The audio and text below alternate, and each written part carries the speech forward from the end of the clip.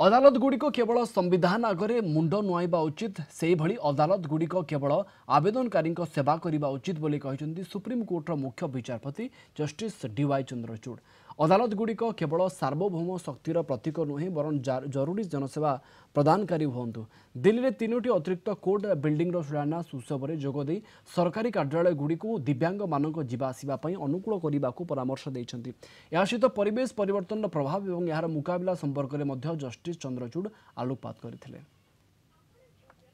Our infrastructure must reflect the reality we live in. Climate change can no longer be ignored.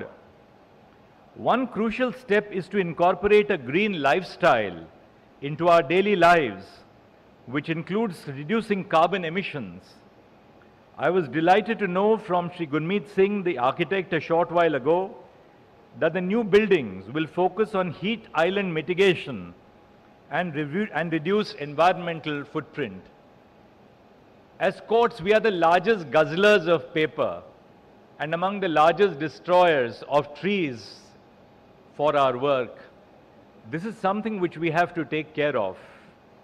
I am reminded of a story where disability rights groups had been requesting for accessibility measures at the historical monuments in India and in our city.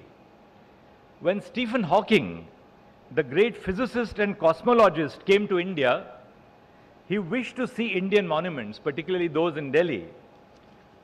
Like all buildings are not just made of bricks and concrete.